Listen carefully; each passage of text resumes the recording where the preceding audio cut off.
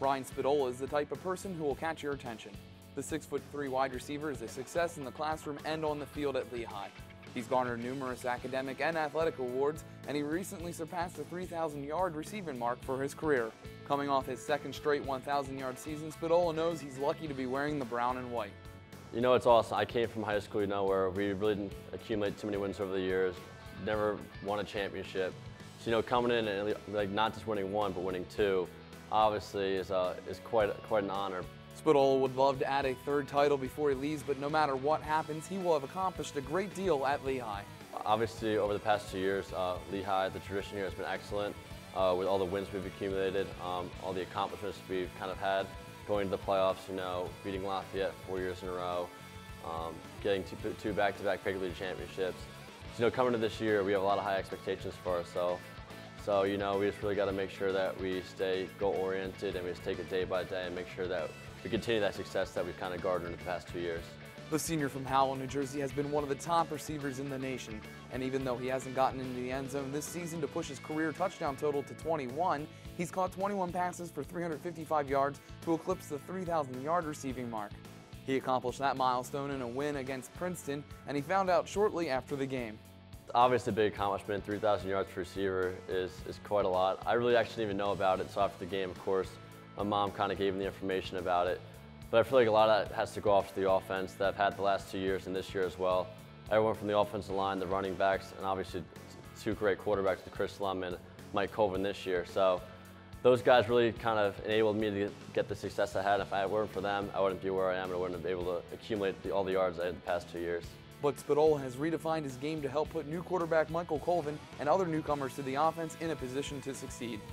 Uh, there are a lot of obvious, obvious challenges all around the offense. Uh, you know, we did lose a lot of guys last year, guys that played for us the past two years that enabled us to have the success we've had as an offense. Um, but you know, I think so far guys really stepped into the roles and really taken on kind of a unique aspect to the offense. Uh, you know, Mike, he opened up doors really open up a running game more, and that's proven all year long so far. You know, he really helped out with that.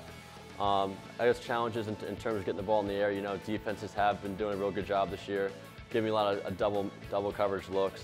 So that's kind of made things more difficult, but it's enabled me to work more on my blocking, uh, been able to work on my routes more.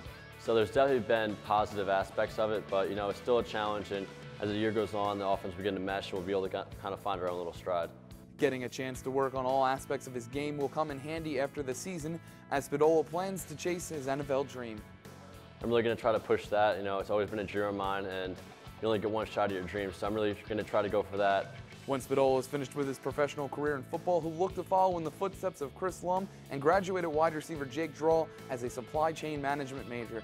I came in here, I was like, I was doing the finance major, so everyone does. It's like, all right, I'll go with that route. Took a few classes, realized it wasn't for me. Uh, talked to a bunch of guys on the team, primarily Chris and uh, Jake. They were majoring in supply chain. They introduced me to the supply chain department, talked to professors there, kind of gave me an overview of what it was all about. And I was like, all right, I'll give it a try. And I took the classes and it ended up being a perfect fit for me. So the topic meshed well with me and so far I've been succeeding in the classroom with the supply chain. So hopefully that opens doors for the future. And no matter what Spadola winds up doing in the future, there's one place you'll surely find him. And that's on the golf course. You know, uh, I have my days, you know, I'll hit, I'll hit pretty good. And there's, you know, the days where I go out there and it's not so pretty, but I just like going out there and having fun and relaxing. And that's what I really care about the most. He's not the only one out there as a few members of the team make an effort to get away from the football field and relax on the course. But when it comes to memorable shots, Spadola says it's Colvin who has the great swing. He uh, somehow has, has the golf gods at his size. Me, I have to really work for my game. So, you know, there's I'd probably say there's more memories related to Colvin's play than mine, but I hope hopefully I have one of those to come in the future.